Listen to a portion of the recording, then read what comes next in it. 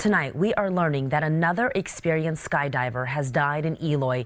Despite the death, skydivers are still jumping. Take a look at aerial video of Skydive Arizona from earlier today. And that's where we find 9 Your Side's Whitney Clark with the very latest details. Whitney, what can you tell us?